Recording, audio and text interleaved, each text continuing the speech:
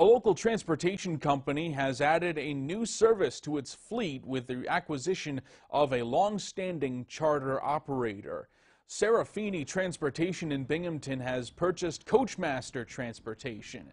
Coachmaster specializes in mid-sized coach buses that are often used to carry parties of 20 to 30 people on wine tours, casino trips, wedding parties, and transportation to out-of-town airports.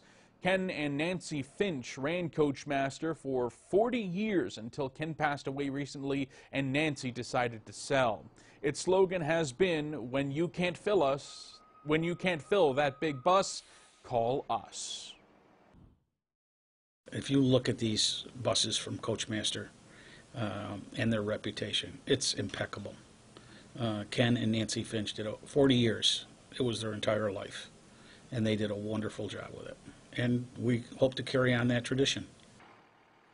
Serafini says he plans to retain the Coachmaster name, its vehicles, and employees, including the general, general, uh, general manager, Dean Lawton.